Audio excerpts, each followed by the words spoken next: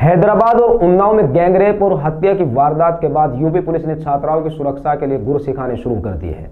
आज यूपी के बुलंदशहर में गांधी बाल निकेतन बालिका विद्यालय में छात्राओं की सुरक्षा की क्लास लगाई गई जिसमें महिला पुलिस इंस्पेक्टर ने मंचलों से बचने के लिए छात्राओं को आत्मरक्षा के गुर सिखाए। My name is Ritika Sharma और हमारी मैम आई थी यूपी पुलिस से। उन्होंने हमें आज बहुत कुछ सिखाया है। उन्होंने बोला कि हमें मतलब अत्याचार नहीं सहना है। उन, हमें जब भी उन्हीं की ज़रूरत पड़े तो हमें कॉल करनी है। उन्होंने सिखाया कि आपको कोई पीछे से मतलब पीछा कर रहा है आपका कोई तो आपको उसे कैसे टेन करना है? उसे कैसे अपनी एनर्जी से हटाना है? उस मतलब उसकी कुछ भी चीज़ सहनी नहीं है।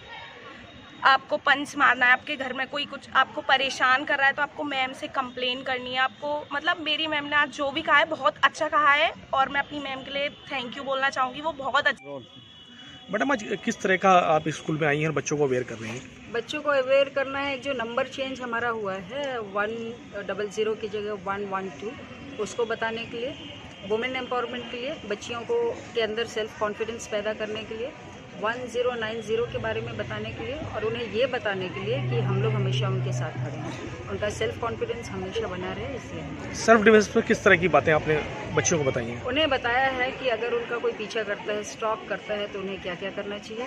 उनके पास क्या होना चाहिए? वो कौन से नंबर डायल करें क्या नाम क्या नाम आपका? सर मेरा नाम कुमारी प्राची कुमारी प्राची है। प्राची आज आपको कुछ क्लास दी गई हैं यूपी पुलिस की तरफ़ से। क्या आप सिखाया गया आपको? सर उसमें सिखाया गया हमारी यूपी पुलिस से अरुणा राय मैम आई उन्होंने हमें बताया यदि हमें कोई परेशान कर रहा है तो हमें डायरेक्टली उसकी आँखों में आँखें डालकर देखना चाहिए और हमें उसके सीधे नाक पर पंच करना चाहिए सर। और हमारी मैम ने बताया कि हमें जागरूक होना चाहिए हम लड़कियों को हम लड़कियों के अंदर एक ऐसी शक्ति होनी चाहिए कि सामने वाला बंदा हमें कोई भी वो नहीं कर सके देख नहीं सके। और हमारी मैम ने हमें इतना कुछ बताया कि हम अपनी मैम का लफ्जों में बयान नहीं कर सकते कितनी अच्छी मैम है very good ma'am thank you कुछ डायल नंबर आपको बताया गया हाँ मैं एक तो one zero nine zero number बताया दूसरा है वन वन टू नंबर बताया दूसरा वन ज़ीरो नाइन नंबर बताया मैम ने। क्या मतलब है इन नंबरों से? कब ये नंबर डायल करेंगे आप? ये हम यदि हमें कोई परेशानी है सर हम ये नंबर तब डायल कर सकते हैं। जैसे कि हमें हम स्कूल से घर जा रहे हैं घर जाने घर जाते समय हमें कोई लड़का यदि परेशान कर रहा है तो वो हम ये इस नंबर पे कॉल भी कर सकते हैं और इससे हम मैम से हेल्प भी ले सकते हैं सर।